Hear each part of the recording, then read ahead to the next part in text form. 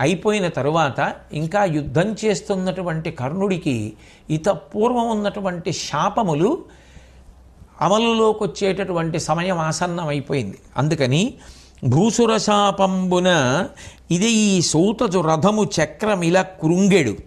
వీతాసుడగు ఈతడని సేవాసముదయ యుగ్మకము వినం పలికె నృపా యమధర్మరాజు గారు పైకి కనపడకుండా రెండు పక్షాలలో ఉన్నటువంటి వాళ్ళకి వినపడేటట్టుగా ఒక మాట చెప్పేట.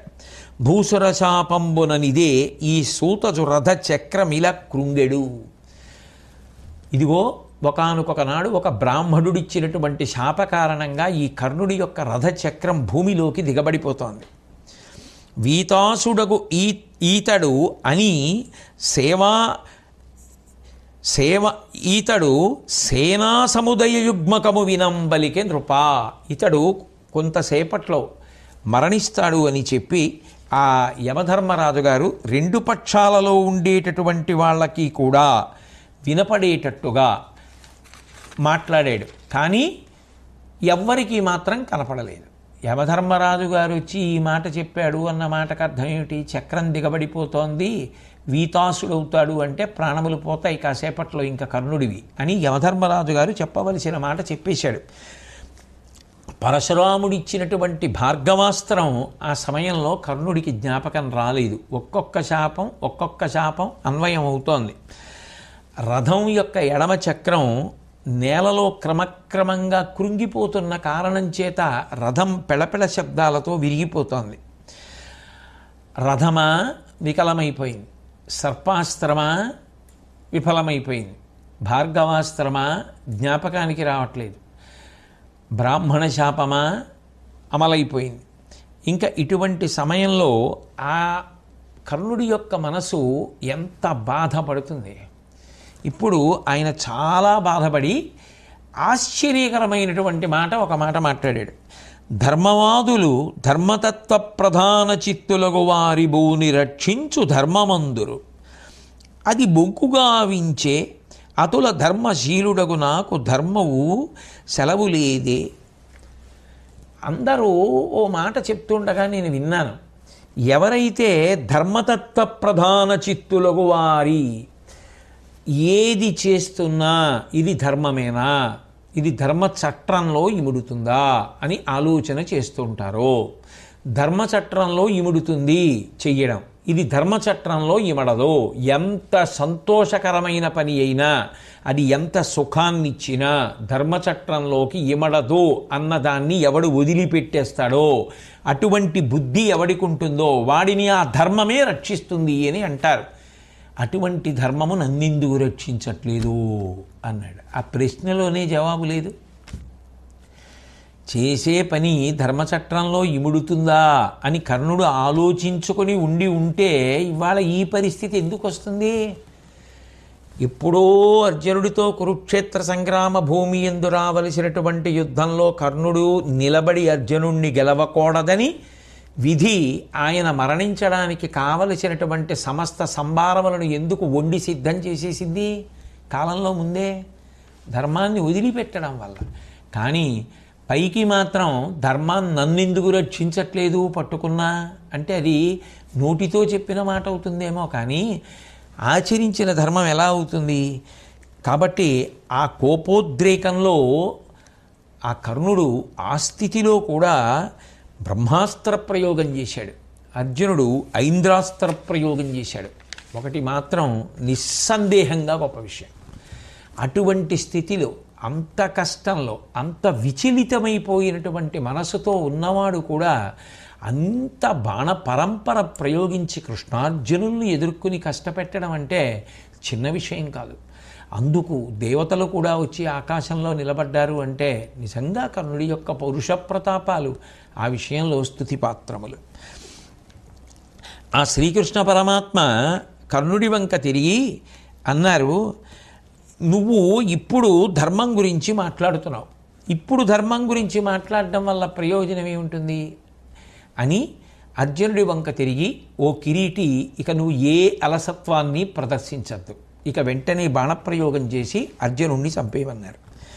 ఆ రథచక్రం కర్ణుడిది మరింతగా నేలలోకి దిగ దిగబడిపోయింది. అప్పుడు ఇక ధైర్యము చెదిరిపోయినటువంటి వాడై ఆ యుద్ధభూమిలో నిలబడి కన్నుల నీరు కారిపోతుండగా దుఃఖిస్తూ అర్జునుణ్ణి చూసి ఆ కర్ణుడు అన్నాడు అరదంబు చక్రంబు ధరచాల కృంగిన ఎత్తెద అంతకు నీయకుండుము. ఏను భూమిస్థుడ నీవు రథస్థుండవు. ఈ ఎడ తగువకు నీయకునికి విరిదలవానిని విరధుని ఆయుధం విడినవానిని శూరులీ రెండు మహిత శూరుడవను మాత్రగా దుత్తమ కొలుడవు. రణధర్మ కోవిదుండవు. ఇట్టి నీవు తగిన ఎట్టి భంగిన అని చెయ్యవలయు. ఇట్లు సెప్పుటెల్ల పాడి ఏర్పటంగ పలుకుట కానీ గోవిందునకును నీకు వెరచి కాదు. అర్జునుడితో మాట్లాడుతూ అర్జున నువ్వు చూస్తున్నావు కదా నా రథం యొక్క చక్రం భూమిలోకి దిగబడిపోయింది.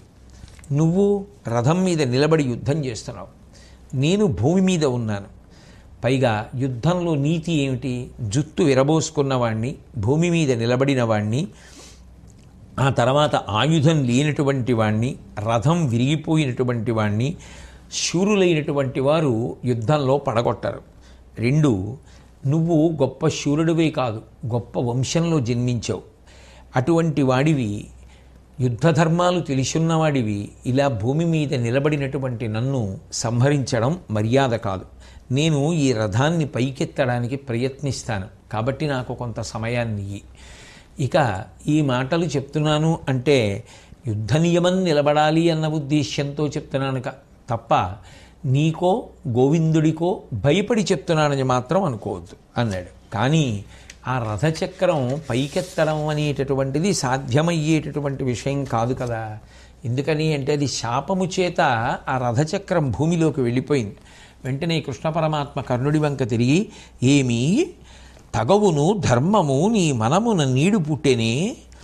గర్వమును ఉద్దామ దురభిమానము నేలా మరచితి కర్ణ. ఆ చలం మెటబోయన్.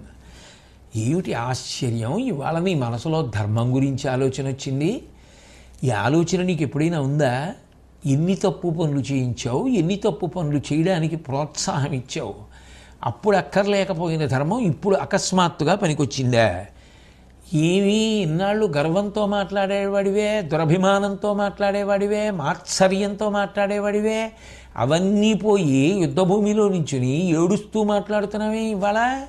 అంటే నువ్వు ధర్మాన్ని వదిలిపెట్టడం చేత నీకు ఈ కష్టాలు వచ్చాయి. అంతకు మించి నిజానికి పరమాత్మకి రాగద్వేషాలు ఉంటాయి కాబట్టి పరమధర్మపరులు పాండుభూవల్లభుసుతులు వారి నతుల శుభములందు ధర్మహీనులైన ధార్తరాష్ట్రులకు పాటిల్లు నివిధమున ఎల్లచేటు. ఇక్కడ నిజంగా చెప్పాలి అంటే కృష్ణ పరమాత్మ తీర్పు చెప్పేశారు. పరమధర్మపరులు పాండుభూవల్లభుసుతులు పాండు భూవల్లభుడైనటువంటి ఆ పాండురాజు యొక్క పిల్లలు ఐదుగురు పంచపాండవులు ఉన్నారే వాళ్ళు ధర్మాన్ని అనుష్ఠిస్తారు. ధర్మాన్ని గౌరవిస్తారు. కాబట్టి వారి నతుల శుభములందు వాళ్ళని శుభములు పొందుతుంటాయి. ఇక ధర్మహీనులైనటువంటి వారు ధార్తరాష్ట్రులు ఆ ధృతరాష్ట్రుడి యొక్క బిడ్డలు. కర్ణుడు తనంత తానుగా గొప్ప పరాక్రమాన్ని పొందినవాడై ఉండవచ్చు నిస్సందేహం. సహజ కవచకుండలములతో పుట్టినవాడు. నిస్సందేహం. ఆయన ప్రారంధం కన్యాగర్భమై పుట్టడం. అది పెద్ద దురదృష్టం. ఆ పైన విధి ఆయన్ని దుర్యోధనుడి పక్కన చేర్చింది. ఏది చేస్తున్నా ఏది మాట్లాడుతున్నా నన్ను ఇంత చేసిన దుర్యోధనుడిని సంతోషపెట్టడానికి చేస్తున్నానా మాట్లాడుతున్నానా లేదా? అంటే నిజానికి కర్ణుడి యొక్క గుణములన్నిటినీ కప్పేసింది. కర్ణుణ్ణి అధర్మం వైపుకి జారిపోయేటట్టు ఒరిగిపోయేటట్టు చేసినది ఏది అంటే దుష్టులతోటి సాంగత్యం. అందుకే ఇన్ని గుణములు ఉన్నవాడైనా దుష్టులతోటి సాంగత్యమును పొందితే చిట్ట చివరికి పరిస్థితి అలాగే ఉంటుంది.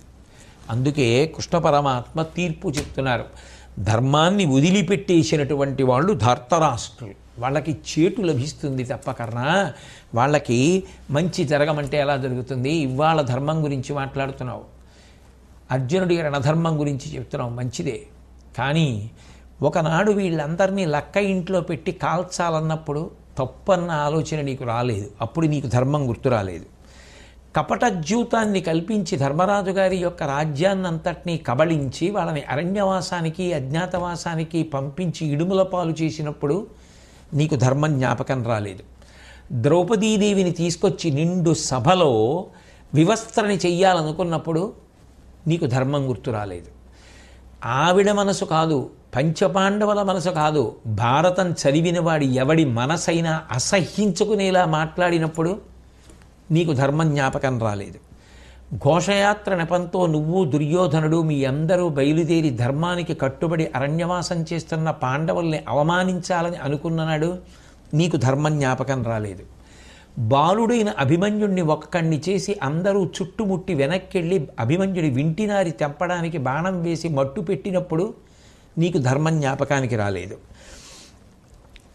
ఇన్ని పాపాలకి కారణం నువ్వే. దుర్యోధనుడు తప్పు చెయ్యాలనుకున్నప్పుడల్లా ప్రోత్సహించి మాట్లాడిన వాడివి నువ్వే. ధార్తరాష్ట్రుల యొక్క పాపములన్నింటినీ ప్రోత్సహించి పలికిన వాడివి నువ్వే. అప్పుడిప్పుడు నీకు ధర్మ జ్ఞాపకానికి రాలేదు. వాటి పర్యవసానంగా యుద్ధం జరిగితే ఇప్పుడు మాత్రం అర్జునుడికి చెప్పడానికి ధర్మ జ్ఞాపకానికి వచ్చింది ఎంత ఆశ్చర్యం. నువ్వు అనుష్ఠించని ధర్మం నిన్ను ఎలా కాపాడుతుంది? ఎందుకు కాపాడుతుంది? అని అనేసరికి ఆ రథం యొక్క దూలం కింద భుజం చేర్చి కర్ణుడు ఆ రథాన్ని పైకెత్తే ప్రయత్నం చేశాడు. ఆయన బలం ఎంత గొప్పది అంటే ఆ రథచక్రం భూమిలోంచి పైకి రాలేదు కానీ నదులతోటి సముద్రాలతోటి పర్వతాలతోటి ఉన్నటువంటి ఈ భూమి అంతా ఆ రంగుళాలు పైకి లేచింది. మొత్తం భూమి ఆ రంగుళాలు పైకి లేచింది కానీ రథచక్రం మాత్రం భూమిలోంచి పైకి రాలేదు. కర్ణుడు సామాన్యమైన వీరుడని ఎవరనగలరు? అంతటి గొప్ప పరాక్రమాన్ని అటువంటి భుజబలాన్ని ఆయన ప్రదర్శించాడు. ఆయన ఎంత పైకెత్తుదాం అనుకుంటుంటే రథచక్రం అంత లోపలికి దిగబడిపోతుంది.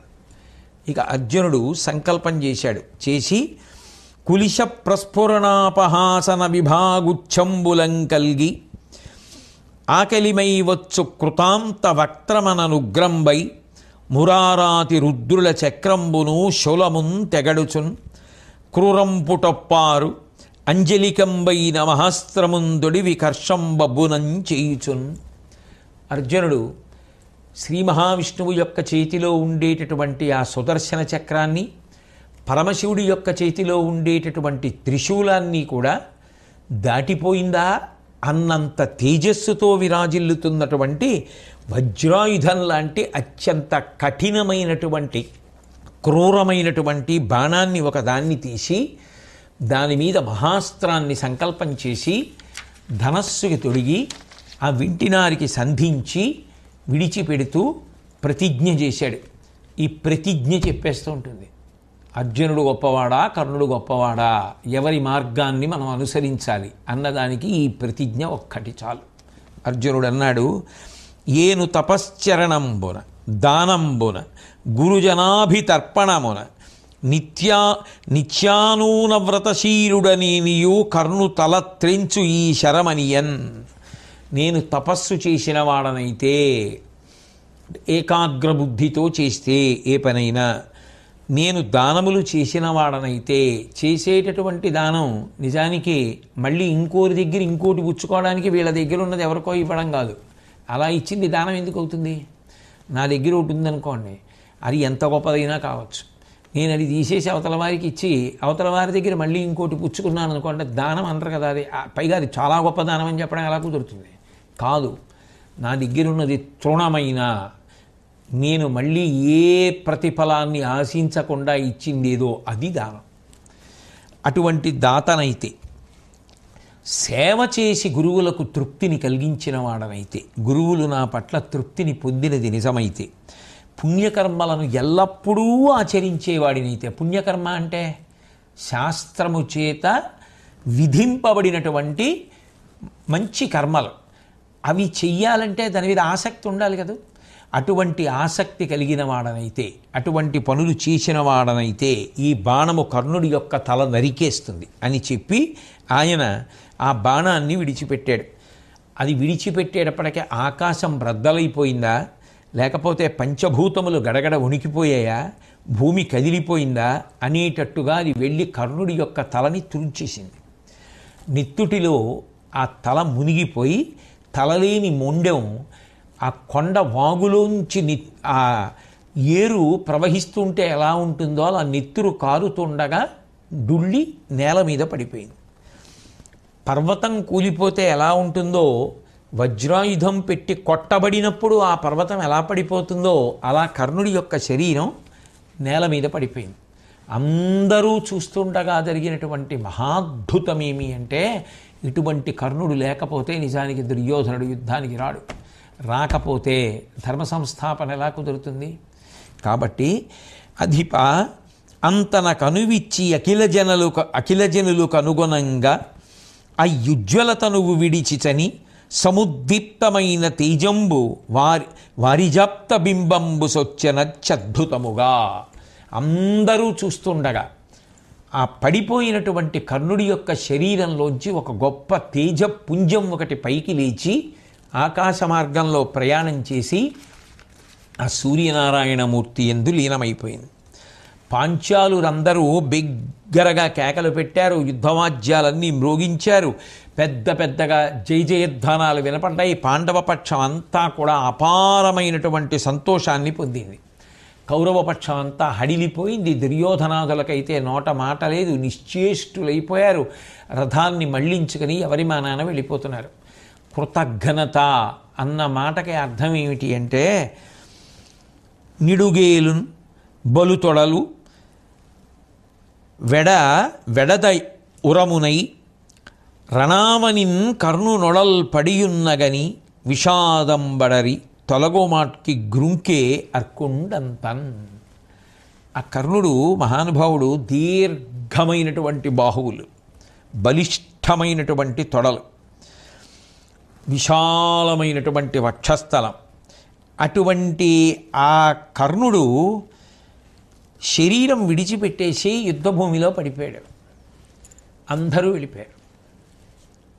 అందరూ వెళ్ళిపోతే తొలగుమాట్కి విషాదంబడరి తొలగుమాట్కి క్రుంకె అర్కుండంతన్.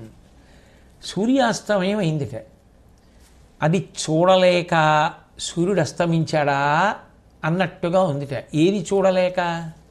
తన కుమారుడైనటువంటి కర్ణుడు పడిపోయాడని చూడలేక బతికున్నంత కాలం అధర్మము అని మనసులో తెలిసున్న దుర్యోధనుడి సంతోషం కోసం దానితో అంటకాగి అన్ని మాటలు అనిపించుకుని యుద్ధభూమిలో నిలబడి ఏడ్చి బతిమాలుకుని అర్జునుడు వేసిన బాణాలకి తట్టుకోలేక కంఠం తెగి పడిపోతే ఒక్కడంటే ఒక్కడు శవం దగ్గరికైనా రాకుండా వెనక్కి తిరిగి వెళ్ళిపోతుంటే ఆ పరిస్థితిని చూసినటువంటి సూర్యుడు ఇక నేను చూడలేనని అస్తమించాడా?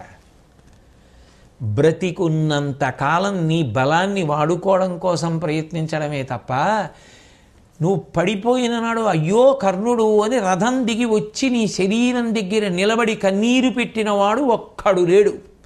అటువంటి వారి కోసమా ఇంత యుద్ధం చేశావు? అని బాధపడి విడిపోయాడు ఆ సూర్యుడు. ఇటువంటి దుష్టులతోడి సాంగత్యము చివరికి జీవితాలు ఎంత ప్రమాదకరంగా ముగిసిపోవడానికి కారణమవుతుందో చూసావా అని లోకమునకు పాఠం చెప్పడం కోసం మౌన సందేశం ఇవ్వడానికి వెళ్ళిపోయాడా? అన్నట్టుగా విషాదంబడరి తొలగోమాట్కి క్రూంకి అర్కుండంతన్ సూర్యాస్తమయం అయిపోయింది. నిర్గత ప్రాణురాధేయు నిజకరముల కరుణ పెంపున అంటుట కారణముగా పవన స్నానమలరింపబోవునట్టు అపర జలనిధిలోనికి అరిగె వినుడు. ఆ సూర్యభగవానుడి యొక్క కిరణములు కరములు కదూ? కిరణములు అంటే ఆ కాంతిని పట్టుకొచ్చేటటువంటి ఆయన యొక్క తేజ సంబంధమైనవి. అవే కరములు ఆయన చేతులు. ఆ కిరణములు శవం మీద పడ్డాయి కదూ సూర్యాస్తమయం అవ్వకముందు. శవాన్ని ముట్టుకున్నాను కాబట్టి నేను మళ్ళీ పవిత్రుడనవడానికి స్నానం చెయ్యాలి అని సూర్యుడు అనుకున్నాడా? అన్నట్టుగా పశ్చిమ సముద్రంలోకి మునిగిపోయాడు.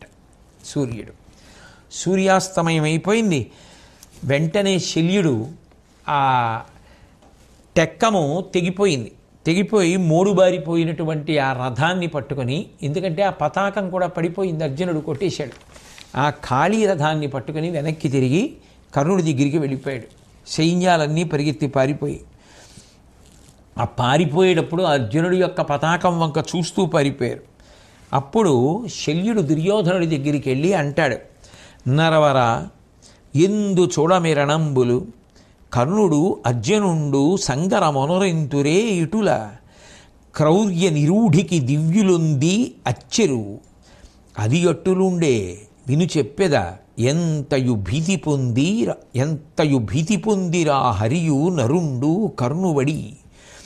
అంత విధాత్రుడు తప్పెవానికి బతికున్నంత కాలం యుద్ధం చేస్తున్నంత కాలం యుద్ధానికి వెడుతున్నంత కాలం తనని ఎవడో పొగిడాడని ఎవడికో తను మాట ఇచ్చానని వేపుకు తినేసి చచ్చిపోయేటంతగా చంపేసి చచ్చిపోయిన వాడు చచ్చిపోయేటట్టుగా చేసేసినటువంటి శల్యుడు ఇప్పుడు పొగుడుతున్నాడు కర్ణుణ్ణి.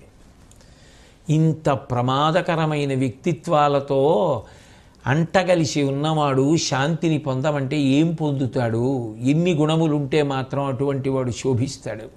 ఆయన దురదృష్టం ఏమిటో ఆయన జీవితం అంతా దుర్మార్గుల మధ్యలోనే గడిచింది.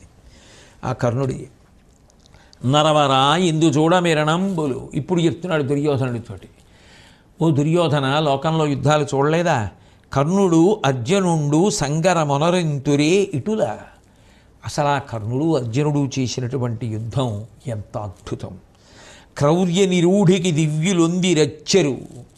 ఆఖరికి వాళ్ళిద్దరూ చేస్తున్నటువంటి యుద్ధ తీవ్రతకి దేవతలు తెల్లబోయారు.